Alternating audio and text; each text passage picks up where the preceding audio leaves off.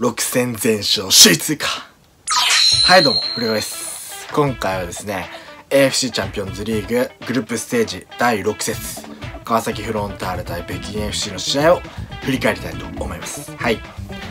でまあこの試合だいぶメンバーも入れ替えましてえー、まあ、ゴールキーパーに丹野選手入ったりまあ、ディフェンスでいうと両サイドバックに伊坂全員選手と神谷選手入ってで中盤もまあ割と出てますけど立花選手小塚選手、えー、遠野選手と入りまして。で両フォワードに、まあ、右に右サイドにね宮城選手宮城天選手がね入りまして。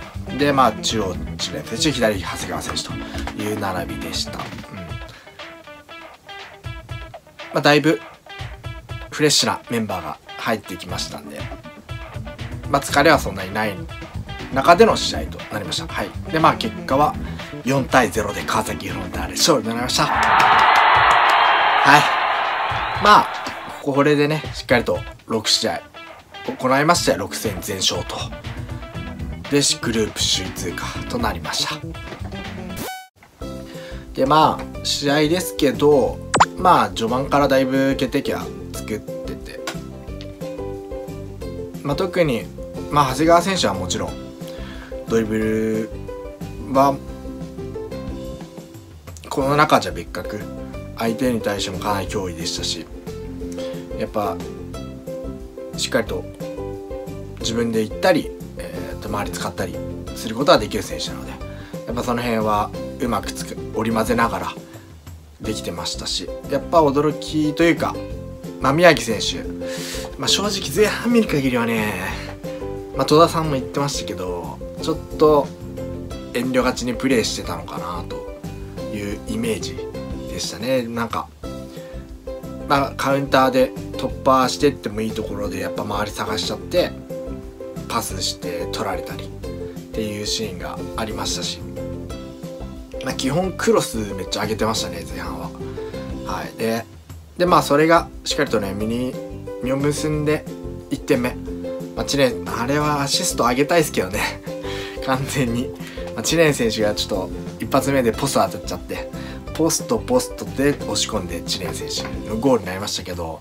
まあ公式は多分あれアシストつかないと思いますけど。まあほぼアシストですねあれは。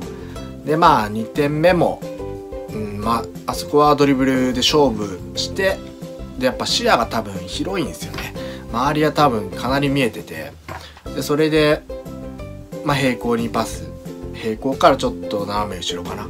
でパスしてでダイレクトで小塚選手と。で小塚選手も良かったですねこの試合。やっぱオン・ザ・ボールはやっぱりもともと持ってるものあるし。でああいうダイレクトのシュートもうまく結構難しいと思うんですけど。しっかりとニアぶち抜いて。でやっぱなんだろうな、まあ、メンバーの構成的にもねボール集まってくるのはやっぱり小坂選手のところ。にボールが集まってきますし、うん、やっぱボール集まりだすと見せてくれますね、まあ、違いを生み出してくれる選手だなと思いますし。まあ課題だった高から主の切り替えもそれなりに、まあ、徐々に徐々にねできてきてるとは思いますし、まあ、ファールになったシーンもそうですけど結構守備も切り替え早くなってきたので、まあ、これからねほんとどんどんその辺は上げていってほしいなと思います。はい、で、まあ、3点目、まあ、後半ですけど、まあ、前半はそれで折り返して。で後半まあ車屋選手に変えて田辺修斗選手がデビューと、はい、なりまして左サイドバックに入りました。田辺選手がね。で神谷選手が左センターバックに戻ると。まあ前半のプレーを見る限り神谷選手はセンターバックの方がいいかなと。いいね攻め上がりもありましたけどなんだろ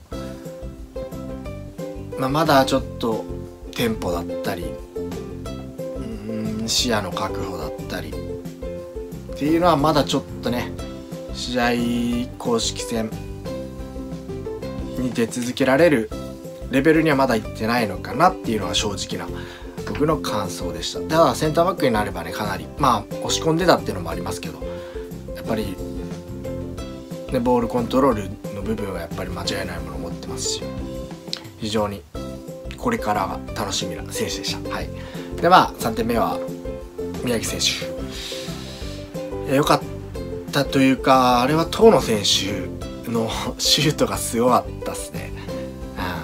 うん、あの角度からねキーパー越して、まあ、ポストに当たっちゃってまあその跳ね返りのねリアクションが非常にスムーズでしっかりとボールをまあシュートっぽいですけど思いっきり蹴って。で結構速いボールだったんですけど準備がしっかりとできてて。でそこで右足で面作ってしっかりとガッて押し込む感じができて。で宮城選手が点取れて。でこれ3点目と、まあ、この点はかなり宮城選手に与える自信というかそういうものはかなり大きく左右したんじゃないか。で後半立ち上がりからね結構仕掛ける部分が多くてゴールに向かうプレーがかなり増えたので、まあ、おそらくハーフタイムで鬼監督に何か、ね、言われたんじゃないかなと思います。はい、でまあそこから結構仕掛けるようになって。まあ仕掛け出すとやっぱ相当相手にとっては怖いというかドリブルのなんだろうセンスという部分はかなり持ってて、うん、縦にもカットインもできる。選手に感じましたんで、はい、これからね楽しみに見ていきたいなと思います。はい。でまあ4点目は小塚選手のフリーキック。まあ1回ねオンゴールって言われてましたけどまあ公式では小塚選手のゴールになったと思いますんでなんか下田さんが言うには小塚選手のゴールになったぽいこと言って言われてましたしどうかわかんないですけど。まああのフリーキックもねやっぱかなり鋭いボールゴール前に通して。でまあ相手のディフェンスが、まあ、ちょっとね軽く触って、まあ、コース変わってキーパーが取れずそのままゴールという形だったんでまあ小塚選手のゴールで僕はいいんじゃないかなと思いますけど、まあ、どうなのか分かりません。はい。でまあこれで4点目と。なりまして4対0まあ最後の指名の試合としては、まあ、しっかりも点取れてしっかりと点も取れて後ろもゼロでしっかりと抑えられたということは本当に良かったと思いますし、まあ、力の差があるとはいえこういう試合をねしっかりと勝ちきって普段出てなかった選手が結果を残すっていうのはチームにとっても好循環になると思いますんでこれからね是非決勝トーナメント非常に厳しい状況になりましたけどもはい。頑張ってもらいたいなと思います。そしてまあ三笘選手は出なかったですね。まあオリンピックとかいろんなこと考えた上でおそらく出さなかったんだと思いますしまあねおそらく移籍するんじゃないかなと思いますんで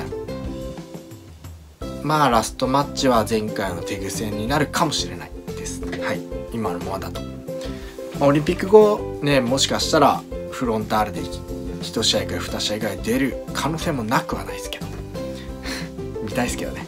はいまあそこに期待して三笘選手は三笘選手と二十歳選手は代表に合流します。はい。ということでまあ予体で川崎6戦全勝となりましてグループ首位通過。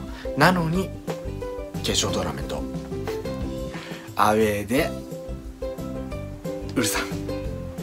なんで？なんでですか？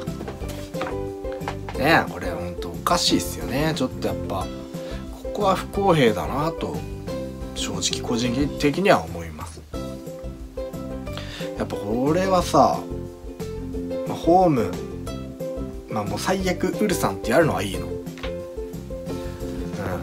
いいんだけどなんで6戦全勝してさ韓国がいるグループでしっかりと1位通過決めたのに何でも最初からアウェーなみたいな。そして一発勝負でしょ。ちょっとやっぱ不公平だなって思います。でホームとアウェーはさなんか決め方あるじゃないやっぱり。なんだろう。グループのさ2位のね争いみたいに。グループそれぞれのグループで1位通過したチームの争い勝ち点とか得失点差の争い。とかにしてくれればいいのにさそれで決まるならまだしもさ最初から決まってるってやっぱさちょっと不公平だなっていう。個人的には思います。はい。まあでもね今のフロンターレだったら勝てるでしょウルさんには。と思いますんで。まあしまあでもうんその隔離とかねその辺がねのストレスとかっぱり隔離されるってことはより過密になるので日程が。帰っての日本での試合がね。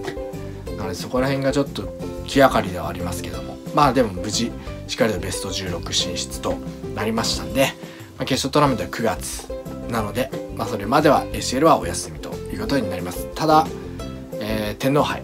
天皇杯が7月21日ありますしリーグ戦も確か清水との試合が組まれてたんだっけ？